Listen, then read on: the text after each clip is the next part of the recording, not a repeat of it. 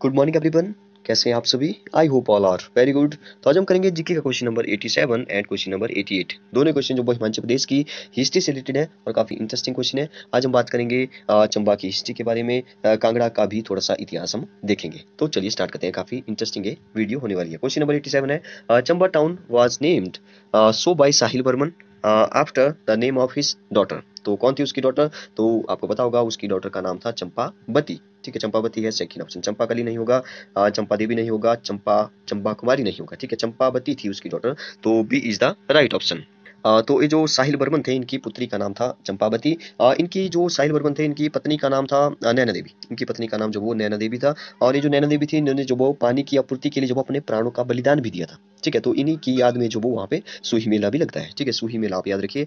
किन की याद में लगता है? नैना देवी की याद में। नैना देवी किसकी पत्नी थी, साहिल बर्मन की पत्नी थी। चलिए एक छोटा सा रिकैप करते हैं, छोटी सी हिस्ट्री देखते हैं चंबा की। ठीक है, चंबा रियासत की जो स्थापना है, वो की थी फाइव में, ईस्वी में जो किसने की थी? मारू वर्मन ने की थी, राजा मारू ने की थी। वो जो वो कहाँ से आया था? वो जो वो अयोध्या से आया था। वो जो वो एक सूर्यवंशी राजा था। उसने क्या किया? उसने भरमौर को जो वो अपनी राजधानी बनाया। भरमौर उस टाइम जो वो ब्रह्मपुर था, ठीक है? एक क्वेश्चन पूछा जाता है कि ब्रह्मपुर जो वो किसने राजधानी बनाई थी? तो ब्रह्मपुर को जो वो मारू ने जो वो, जिसने जो वो चंबर रियासत की स्थापना की थी फाइव फिफ्टी ईस्वी में। तो ब्रह्मपुर जो कि आजकल जो वो भरमौर के नाम से प्रसिद्ध है तो भरमौर को जो अपनी राजधानी उसने बनाया था। फिर जो वो कई सारे राजा है जैसे आदित्य वर्मन आए मेरु वर्मन आए ये जो मेरी मेरु वर्मन है, जो वो भरमौन का सबसे शक्तिशाली राजा माना जाता है। ठीक है? क्योंकि इसने जो वो बहुत सारे मंदिरों का निर्माण भी करवाया। जैसे शक्ति देवी मंदिर हो गया, गणेश मंदिर हो गया, लक्षणा देवी मंदिर हो गया या मणिमेश मंदिर हो गया। तो ये सारे मंदिर जो वो, सारे तो नहीं, लेकिन बहुत ही, बहुत मंदिर जो वो इसने बनाए, किसने? मेरु वर्मन ने। जैसे और भी कई सारे राजा रहे जिसमें कि एक लक्ष्मी बर्मन बर्मन भी थे। ठीक है? एक उसके बेटे मुसान बर्मन भी थे। ये जो मुसान बर्मन थे, ठीक है? इनके बारे में एक छोटी सी कहानी है, वो मैं आपको बता देता हूँ। मुसान बर्मन को, ने जो वो चूहों को मारने पर प्रतिबंध भी लगाया था। ठीक है, मुसान बर्मन ने जो वो, देखिए चूहों को क्या बोलता है मुसक बोला जाता है तो इन्हीं के नाम पर जो इनका नाम भी पड़ा था मुसान बर्मन। ठीक है तो मुसान बर्मन ने चूहों को मारने पर जो वो प्रतिबंध लगा दिया था, कि चूहों को ना मारा जाए। ठीक है, क्यों? इसके पीछे भी थोड़ी सी हिस्ट्री है, थोड़ी सी कहानी है। क्यों? क्योंकि लक्ष्मी बर्मन जो कि इनके फादर थे ठीक है लक्ष्मी बर्मन का बेटा था मुसान बर्मन। तो लक्ष्मी बर्मन पर जब जब किरातों ने हमला किया, ठीक है, किरातों ने जब लक्ष्मी बर्मन पर हमला किया तो उनकी रानी जो वो गुफा में रुकी गुफा में रहने लगे और गुफा में जो वो उन्होंने बेटे को जन्म दिया, गुफा में बेटे को जन्म दिया। तो जब मुसान लक्ष्मी वर्मन जब वो कुछ टाइम के बाद जब वो वहाँ पे आए तो उन्होंने देखा कि जो बेटा हुआ है, उनकी रक्षा जब कौन कर रहे हैं? चूहे कर रहे हैं।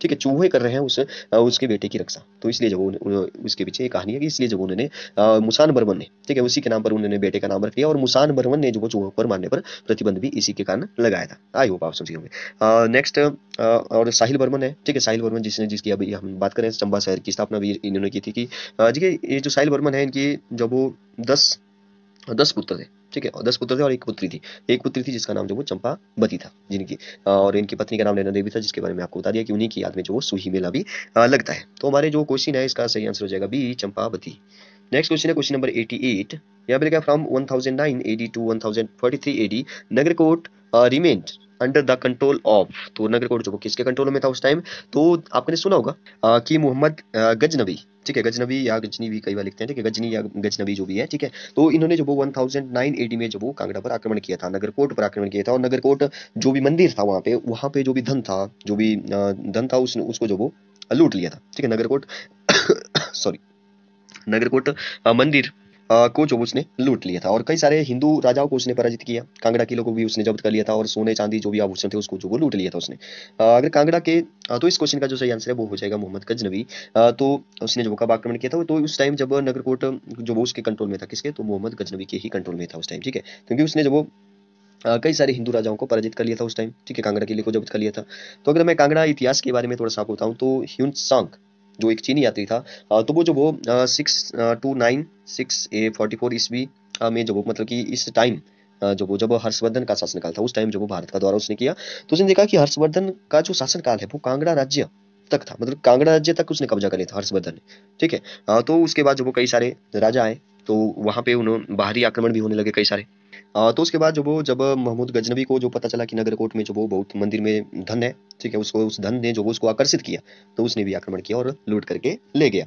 अगर हम बात करें इतिहास की और तो कांगड़ा का जो पुराना नाम था, वो था त्रिगर्थ क्वेश्चन भी पेपर में पूछा था त्रिगर्थ जो उसका पुराना नाम था। अगर हम त्रिगर्थ की बात करें तो त्रिगर्थ जो वो हिमाचल की सबसे पुरानी रियासत थी, पहाड़ी रियासत जो वो कौन सी त्रिगर्थ थी ये भी क्वेश्चन पूछा था, जिसकी राजधानी जो वो नगरकोट ही थी, जिसकी राजधानी नगरकोट ही थी तो इस त्रिगर्थ को भी आप याद रखें। त्रिगर्थ रियासत की जो स्थापना है, वो जो वो किसने की थी, सुशर्मा चंद ने की थी, जो कि महाभारत के युद्ध में कौरवों का पक्ष जिन्होंने लिया था। सुशर्मा चंद ने इनको भी आप याद रखिए। सुशर्मा चंद ने जो वो कांगड़ा किला, नगरकोट का निर्माण भी करवाया उसने कांगड़ा किला का निर्माण करवाया, और 1009 में आपको मैंने बता दिया कि क्या क्या हुआ और अगर इसके बारे में कांगड़ा की बात करें तो यहाँ पे जो वो एक मंदिर है, जो मसरूर रॉक कट मंदिर है, जो कि पत्थर को तोड़ करके बनाया गया है तो वो भी उस टाइम ही बना था, ठीक है? तो उसको जो वो हिमाचल प्रदेश का एलोरा भी कहा जाता है, ठीक है? हिमाचल प्रदेश का एलोरा भी कहा जाता है तो कई सारे मंदिर है, ज्वालामुखी मंदिर है, ब्रिजेश्वरी मंदिर है, ठीक है? बैजनाथ में जो वो शिव मंदिर है, नूरपुर में गंगा मंदिर है, चामुंडा मंदिर है, ठीक है? ये सभी जो वो कांगड़ा ज़िले में ही पड़ते हैं। अगर हम इसकी बात करें, जैसे कि झीलों की तो पोंग झील है, जो कि कृत्रिम झील है करेरी झील है, डल झील है, जो कि एक प्राकृतिक झील है तो इसके बारे में भी आप याद रखिए। तो आई होप आप समझ गए होंगे। क्वेश्चन नंबर सेकंड का जो सही आंसर है वो हो जाएगा सी और क्वेश्चन नंबर फ़र्स्ट का जो सही आंसर हो जाएगा वो हो जाएगा Champavati B is the right option okay thank you for listening and have a nice day